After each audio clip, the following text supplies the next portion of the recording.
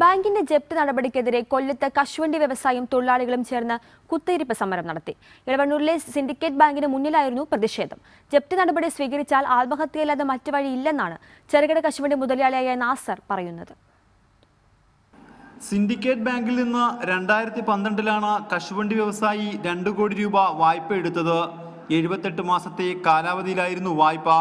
എന്നാൽ രണ്ടായിരത്തി പതിനാലിൽ ബാങ്ക് വായ്പ കാലാവധി കുറച്ചെന്നും തകർച്ചയിലായിരുന്ന തന്റെ വ്യവസായത്തെ കൂടുതൽ പ്രതിസന്ധിയിലേക്ക് തള്ളിവിട്ടെന്നും നാസറുദ്ദീൻ പറയുന്നു. അങ്ങനെ തരാൻ പറ്റത്തില്ല ബാങ്കിന് വേണ്ടി.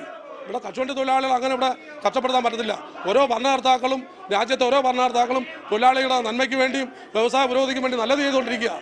പക്ഷേ അതൊന്നും ഇവിടെ ബാങ്ക് അംഗീകരിക്കുന്നില്ല. അവരാരും പറഞ്ഞ് അംഗീകരിക്കത്തില്ല.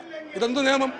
ഞങ്ങൾ എന്ത് ചെയ്ത്? ഞങ്ങളുടെ മേലിലാണോ ഈ ഈ നിയമം അടിച്ചേപ്പിക്കേണ്ട ബാങ്കിന് മുന്നിൽ കുത്തിയിരുന്ന നാസറുദ്ദീന് പിന്തുണയുമായി തന്റെ തൊഴിലാളികളും എത്തി.